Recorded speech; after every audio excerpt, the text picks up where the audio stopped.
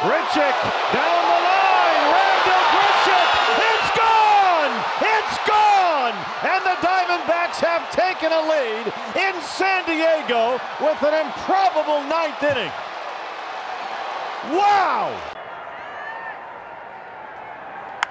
And Vinny hits it into deep right center field, and Doyle turns, and it's gone.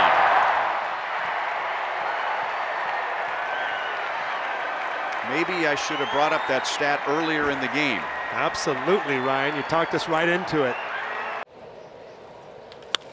Line drive, belted to left. Wood turns, it's gone. Contreras hits a big home run.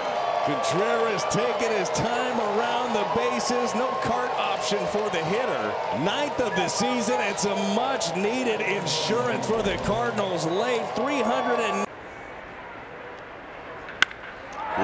Line to left field and deep and gone.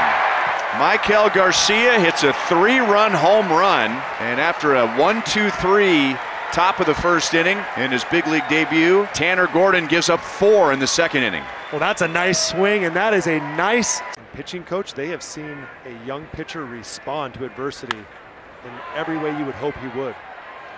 Deep right field, MJ Melendez hits a home run to right for his first hit of the series. And the Royals lead 5 0 in the seventh.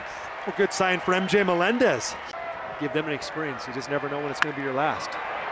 Hooking into the corner and gone over the tall left field corner, 347. And Bobby Witt Jr.'s third hit today is a three run home run. Well, hopefully they got a few more minutes for voting because if they